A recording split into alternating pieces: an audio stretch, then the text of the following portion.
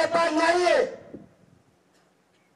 मी सामान्य पोरग शेतकऱ्याचं म्हणून काम करतोय. तू ये वीस पंचवीस हाताखाली धरले. आणि रोज चॅनलच्या माध्यमातून यांना समोर आणून माझ्या विरुद्ध खोटे आरोप करायला लावतो.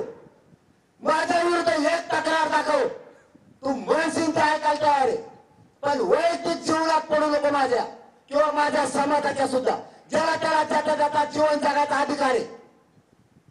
आज तुला बळीच पाहिजे ना?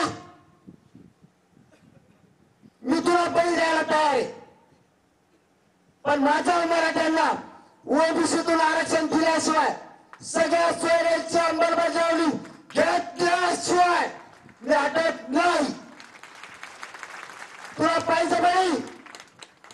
तू आरोप नको करू माझा. तुला मी पाहिजे. मी मेल्यावर तुझ्या आरोप बंद होणार. मी मेल्यावर समाजाचं काम करायला कुणी नाही राहणार. हे स्वप्न आहे तुझं. इथं बसून मरण्यापेक्षा तुला माझा बळी पाहिजे ना. मी तुझ्या सागर बंगल्यावर येतोय. चल घे माझा बळी. निघालो मी चल येतो तिकडं. हरामखोर आग निघालो चल. सागर बंगल्यावर निघालो मी तुझ्या. चला मला पट्टा द्या मला चालता येत नाही. काठी द्या माझा आपण मला काठी धरी धरी चालायला लागतं देवेंद्र फडणवीस तुला बळी पाहिजे ना माझा बळी घे मी सागर बंगल्याला आलो तुझ्या तू मराठ्यांचा घात करायला निघाला तू चुकीचा लोक हाताखाली धरला आणि मराठ्यांना बदनाम करायला माझ्या संघ एकाही मराठ्यांच्या माणसाला मुंबईकडे यायचं नाही एकटा जाणार आणि तुम्हाला शांत व्हा राहा.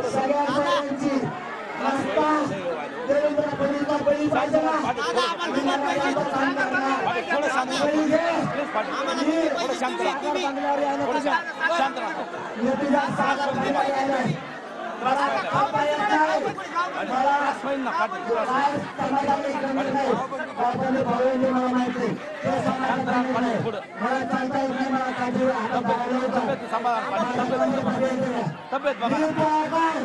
पाटील तब्येत फडणवीस, तुला माझा बळी पाहिजे ना? पाटील चल घे. पाटील, मी यायला तब्येत सागर बंगल्यावर. पाटील तुझी तब्येत पोलीस संघटना पाटील माझ्या विरोधात बळा घालायला ओबीसीतून आरक्षण दिल्याशिवाय सगळ्यांसाठी दांभेले बदलले सांगत नाही. मराठी कावा बोलून काढणार दलित बांधव आमच्या बाजूने बनणार सगळा धंदा बंधारे बांधव आमच्या बाजूने बनणार मराठी सुद्धा. तुझा कावा दलित बांधणार निघालो मुंबईला तुझा सागर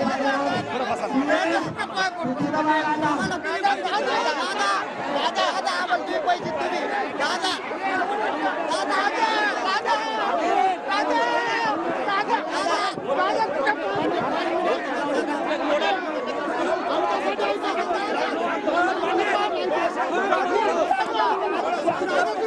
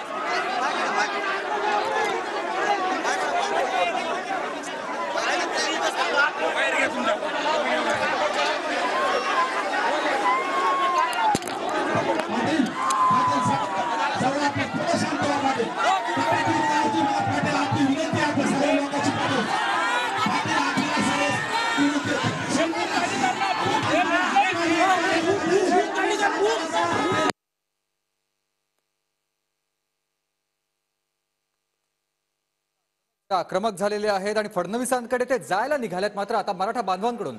जरांगेंना शांत करण्याचा प्रयत्न या ठिकाणी सुरू झालेला आहे. जरांगे पाटील यांनी देवेंद्र फडणवीसांवर देखील टीका केलेली आहे. जरांगे आता फडणवीसांच्या सागर बंगल्यावर जाण्यावर ठाम आहेत आणि त्यांना आता रोखण्यासाठीच मराठा बांधवांकडून हे प्रयत्न केले जात आहेत. जरांगे पाटील आपण बघितलेलं आहे.